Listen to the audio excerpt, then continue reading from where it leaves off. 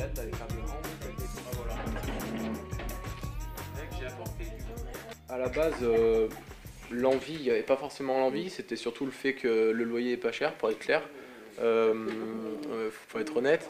Euh, par contre, le fait d'être avec des, je les appelle les vieux, mais c'est les anciens, les grands, les grands. Même mon grand-père, je l'appelle, le grand.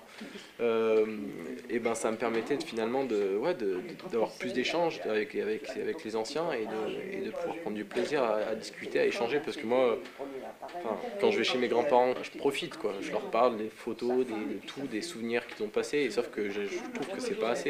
J'aimerais bien pouvoir passer, euh, passer 35 euh, heures à faire ça. Je réside ici, là, à l'appartement 506 avec Minoussou. Je sais sais pas si on s'est déjà croisé. Je vais, euh, je vais, essayer de mettre en place là, tous les mardis, à peu près, tous les mardis, tous les, quinzaines de mardis, une activité qui ressemble à, ça. En gros, je vais essayer de parler de, la résistance dans le alors pas que, pas que la résistance, pas que la résistance, il va y avoir l'école, euh, l'école, qu'est-ce, que vous faisiez à l'école euh, euh, pendant les années 40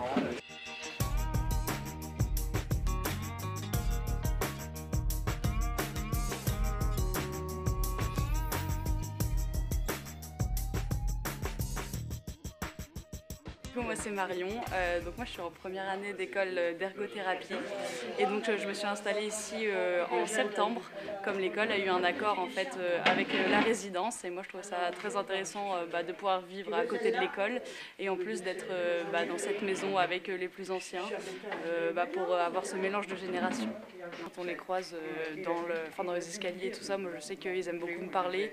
Avant Noël là pareil quand je suis descendue, bon, j'étais un peu pressée, j'avais mon train mais ils étaient tous là et je me suis pour discuter un peu avec eux et vous voyez que ça leur faisait plaisir hein, parce qu'ils bah, ne sortent pas forcément énormément. Et puis euh, pareil, une fois je suis rentrée avec mes skis et puis il y avait un petit papy pareil qui m'a aidé à entrer mes skis. La première fois qu'il voit des jeunes, euh, on va oser et c'est à nous aussi d'aller oser, c'est difficile.